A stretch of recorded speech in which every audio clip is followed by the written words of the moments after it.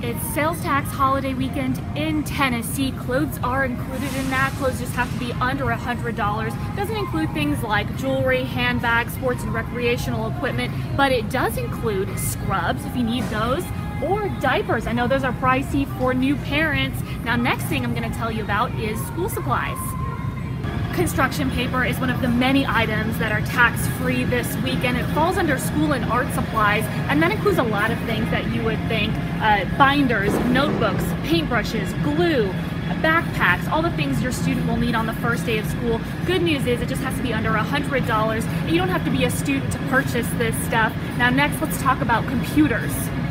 These are some of those big ticket items that you're not going to have to pay sales tax on this weekend. Computers includes computers, laptops, and even tablets. As long as it's under $1,500, you don't have to pay sales tax this weekend.